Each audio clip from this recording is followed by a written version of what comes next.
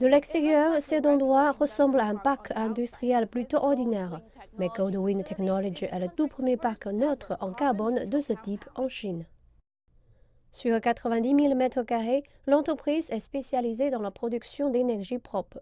Elle utilise plusieurs de ses propres produits, des éoliennes aux panneaux solaires. Les émissions de carbone restantes sont compensées par l'achat de quotas de carbone dans la bourse verte en pleine expansion du pays. Nous explorions des solutions neutres en carbone depuis longtemps, avant 2021. Constatant que tant d'entreprises et d'industries en ont fait leur objectif, nous voulions être les premiers à l'atteindre et à proposer ce type de solution.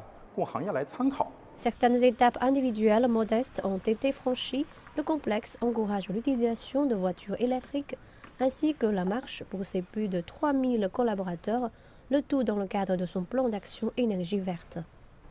Nous présentons également des propositions neutres en carbone lors des deux sessions.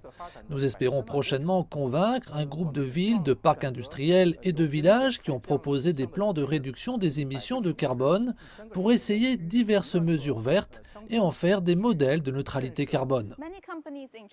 De plus en plus d'entreprises de la ville rejoignent ce parc industriel, ouvrant leur propre jardin botanique et des serres pour absorber le CO2.